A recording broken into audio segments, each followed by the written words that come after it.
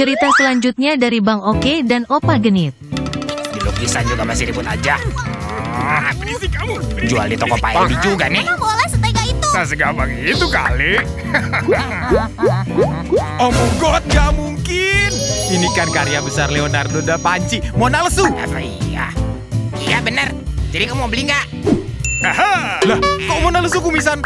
Wah, KW ini, palsu. Hmm, bencana. Ngapain kamu di situ? Aku kan Mona Lisa dan kamu munafik. Ah, gua kirain ke tukang rongsok juga nih. Hmm, ini kan melukis manja karya Budi Basola. Sekarang jual melukis manja. Cuan-cuan. Lukisan ini terjual seharga nol rupiah. Kupikir itu lukisan melukis manja. Pantas aja harganya nol. Dilihat dari mana pun ini palsu. Hah, cuy, Ah. Bikin hipertensi. Bisa pada duduk diem baik gak sih? Aku bakal kasih yang kalian mau.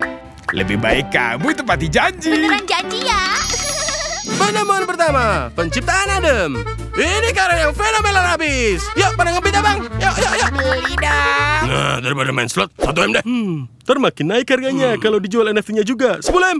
Kayaknya makin banyak yang mau buang Phyllis. Satu triliun. Oh banget. Terjual. Yeay, makasih bang. Nah, ini baru istana Sultan. Oh my god, damage-nya keren banget ini kuda lumping. Siapa lagi yang mau kamu incer? Incer? Emang aku curanmor yang suka incer motor? Alah berisik. Eh. Seminggu kurang dari enam hari kemudian. Astagfirullah. Apa-apaan ini? Hai guys, yuk kita having fun. Fallback yang cantik. Wah, Konon semua lukisan akhirnya dimuseumkan di TPAS. Hả?